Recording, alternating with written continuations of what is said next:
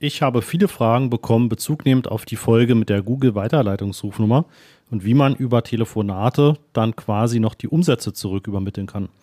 Ja, und auf die Fragen will ich eingehen und will gerne euch auch noch ein bisschen mehr darüber erzählen, was man eben noch so für Strategien dort ansetzen kann. Ja, und damit herzlich willkommen zu einer neuen Folge vom Master of Search Podcast.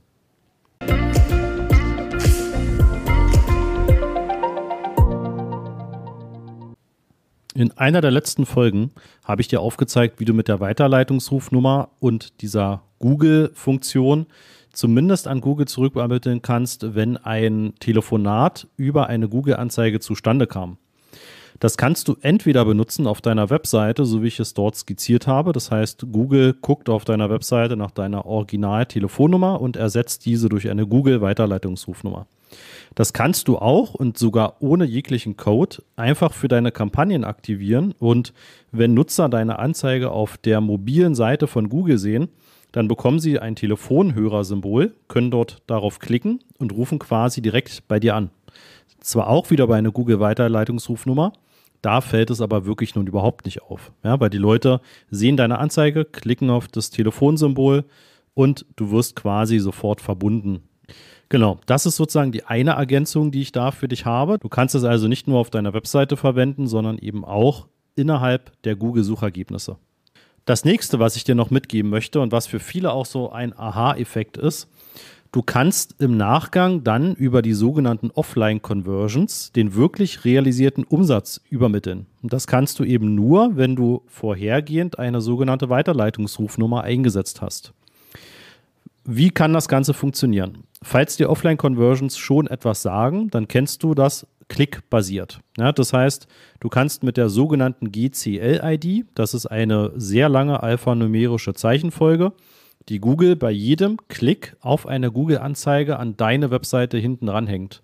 Das macht Google ganz automatisch kannst du gerne ja mal bei deinen Anzeigen prüfen oder eben bei einer anderen Google-Anzeige, auf die du draufklickst. Und wenn du auf der Webseite des Werbetreibenden gelandet bist, dann schaust du mal oben in die URL-Zeile und guckst mal nach Fragezeichen beziehungsweise dem Kaufmanns und und dann kommt GCL-ID gleich und dann kommt eben, wie gesagt, diese ja, circa 40 bis 50 Zeichen lange Folge von Buchstaben, Nummern etc. Und diese GCL-ID kannst du bei dir abspeichern und kannst sie später an Google wieder hochladen und kannst sagen, mit dieser GCL-ID gab es einen Umsatz oder du kannst sogar einen Gewinn übermitteln. Das ist ja dir frei überlassen, was du dort rüberschickst.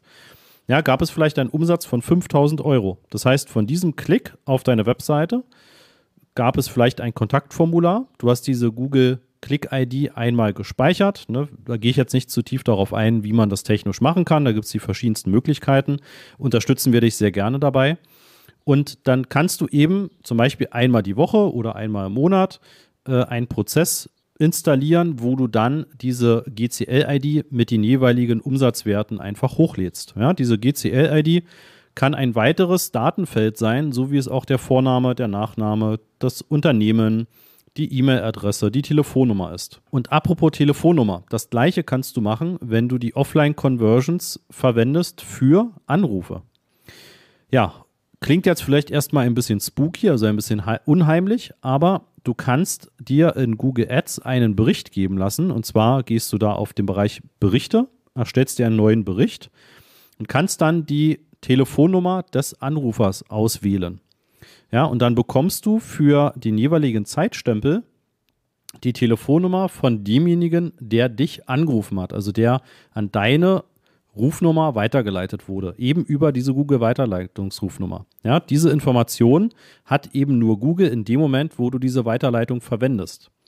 So, und dann kannst du dir bei diesem Bericht eben regelmäßig diese Rufnummern herausziehen, beziehungsweise du kannst dir natürlich auch von dem Kunden, der dann anfragt, die Telefonnummer entsprechend notieren aber du kannst im Prinzip später die Zuordnung wieder anhand genau dieser Telefonnummer machen. Ja, das heißt, du nimmst nicht die Click-ID, wie ich es eben skizziert habe, sondern du nimmst die Telefonnummer des Anrufers und sagst dann Google wieder in einem Prozess, einmal die Woche, einmal im Monat, wie häufig das dann eben bei dir sinnvoll ist, und lädst den realisierten Umsatz mit dieser telefonischen Anfrage und dem telefonischen Auftrag dann wieder an Google hoch und sagst, hey, mit der Telefonnummer 1, 2, 3, 4, 5 habe ich einen Umsatz oder vielleicht sogar noch besser einen Gewinn von 5000 Euro realisiert.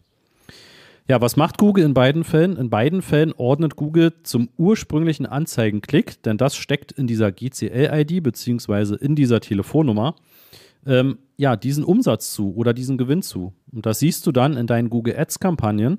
Und das Magische, was dann passiert, ist, Du kannst dann eben genau sehen, auf welches Keyword hat der Nutzer vorher geklickt, wo er dann bei dir im Prinzip angerufen hat.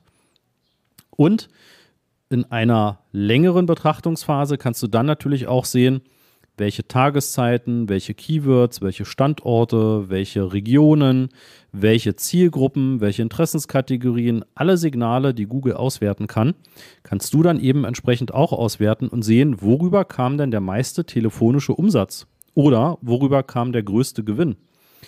Und noch viel besser, als dass du das alleine auswertest, ist es natürlich dann wieder für die Geburtsstrategien. Ja, wenn du der Geburtsstrategie entsprechend diese Informationen übergibst ja, und sagst, hier ist nicht einfach nur ein Telefonat zustande gekommen, sondern aus diesem Telefonat wurde auch wirklich ein Umsatz von 5000 Euro, ja, dann kann Google auch aus diesen Conversion-Daten natürlich viel, viel besser lernen und deine Kampagnen noch viel mehr und besser optimieren, ja, sodass du zukünftig mehr Umsatz oder mehr Gewinn generieren kannst.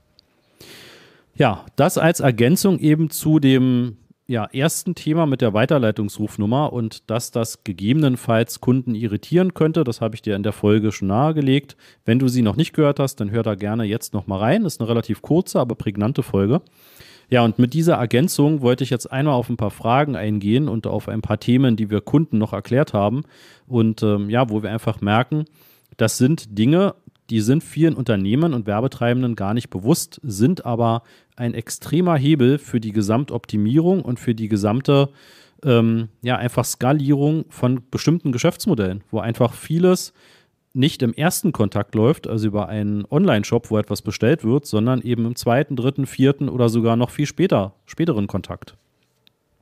Ja, das ist also wirklich ein echter Hebel, wie du deine Kampagnen noch mehr optimieren und skalieren kannst. Wenn du darüber mehr wissen möchtest, dann geh auf masterofsearch.de ja, und buch dir einfach mal ein unverbindliches Erstgespräch und wir schauen, was wir dir da anbieten können. Dann bis zur nächsten Podcast-Folge. Tschüss.